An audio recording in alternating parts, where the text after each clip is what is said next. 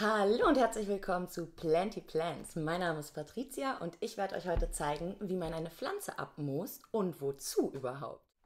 Ich habe mir dafür heute diesen wunderschönen Sodiroy hier rausgepickt, denn hier haben wir einige Nodien, die wir sehr gut abmoosen können. Erstmal Warum überhaupt abmoosen? Was soll das überhaupt für einen Zweck und Sinn haben? Es ist so, wenn wir hier jetzt einfach die Pflanze schneiden würden, hier ein Steckling, da ein Steckling, da ein Steckling, ist es natürlich möglich, sie einfach zu schneiden, ohne dass hier irgendwelche Wurzeln sind. Aber die Wahrscheinlichkeit ist natürlich hoch, dass beim Bewurzelungsprozess das Blatt abfällt. Denn es kann sich ja nicht versorgen, muss die gesamte Energie in die Wurzelbildung stecken. Das ist natürlich auf jeden Fall ein großer, großer Aufwand an Energie für eine Pflanze. Und deshalb gibt es da so die eine oder andere Methode, mit der man das ein bisschen safer machen kann. Dafür braucht ihr die Pflanze, die ihr abmoosen wollt. Normalerweise nutze ich äh, lebendes Moos. Diesmal habe ich allerdings das Trockenmoos, weil ich kein lebendes mehr da habe. Dann braucht ihr außerdem einen Becher, einen Plastikbecher und eine Schere. Das war's. Mehr braucht ihr dafür eigentlich schon gar nicht. Was machen wir jetzt mit dem Becher und der Schere? Wir schneiden hier einmal gerade runter ja, und hier rein bis zur Mitte. Ja, also wirklich nur bis zur Mitte, wenn es geht. In diesem Kreis hier. Ja, dieser Kreis wird jetzt hier die Hälfte ausgeschnitten. Mhm.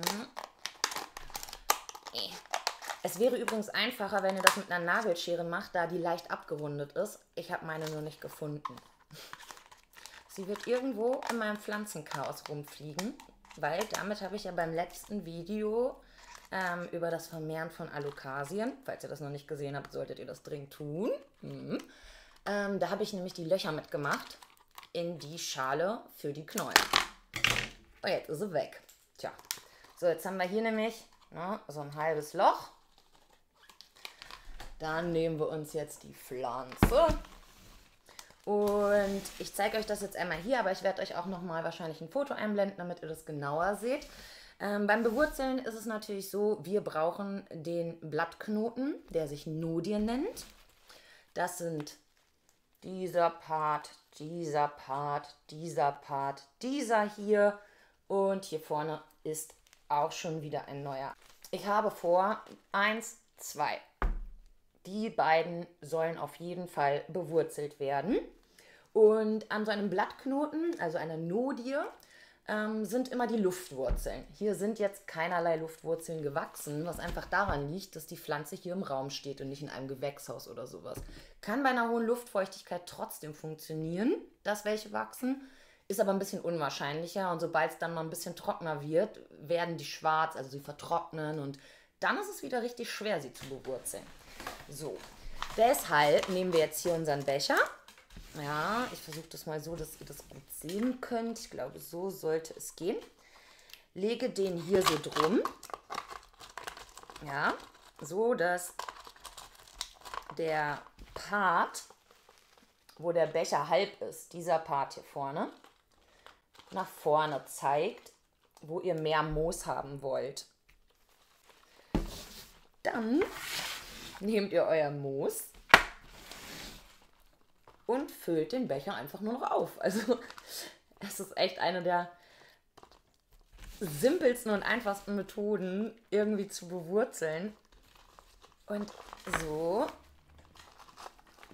Ach, guckt, jetzt habe ich sogar was vergessen. Ihr braucht nämlich auch noch Tesafilm. Und zwar, um das hier wieder zu schließen. So, die Nodien, die ihr abmoosen wollt, müssen natürlich komplett bedeckt sein von dem Moos. Das ist ganz wichtig. Und die Nodien, die ihr nicht bewurzeln wollt, sollten auch nichts davon abbekommen. Na, also die oberste hier, die lasse ich aus. So. Jetzt würde ich, wäre ich nicht so vergesslich, diesen Schlitz, wie erzählt hier gerade, mit Tesafilm zu kleben. Und dann ist es auch schon soweit. Ähm, ich habe es meistens so, dass ich Pflanzen, die ich abmose, im Gewächshaus stehen habe. Jetzt hat nicht jeder ein Gewächshaus, verständlicherweise. Ähm, da würde ich dann tatsächlich empfehlen, macht das Ganze ein bisschen feuchter, das Moos. Und macht dann hier oben eine Folie drüber. Und dann bleibt die Feuchtigkeit da auch eigentlich im Becher drin. Gibt natürlich noch andere Abmoos-Varianten, ähm, die werde ich euch auch noch in anderen Videos zeigen. Aber das ist so die, die ich am allerhäufigsten verwende, weil es super schnell geht. Ich meine, Becher zerschneiden, drum packen, Moos rein und das war's. Also ja, ist auf jeden Fall einfacher als zum Beispiel die Methode, in der man eine Plastikkugel aus, äh, nicht Alufolie, aus, wie heißt das, Frischhaltefolie macht.